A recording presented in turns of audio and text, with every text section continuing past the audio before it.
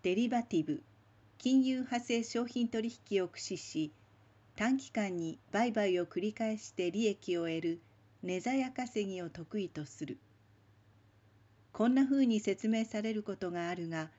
お金儲けに日頃から縁遠い意味にはどうもピンとこない。ヘッジファンドという投機の仕組みのことだ。顧客は大金持ちや大企業。巨額の資金を預かり株式や債券などを対象に幅広く運用して利益を追求するというのだから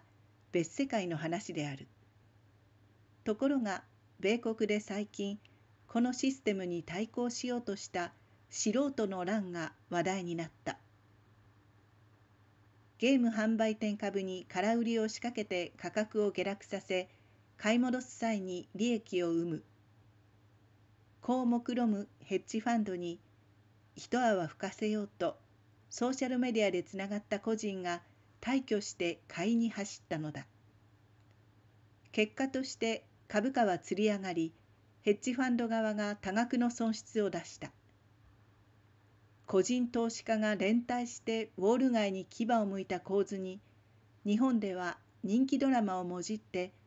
支配階級への倍返しと報じる向きもあった。素人たちの乱はさすがに長続きしなかったようだが長いものには巻かれろ式になりがちな島国からは発想も行動もどこか新鮮に見える。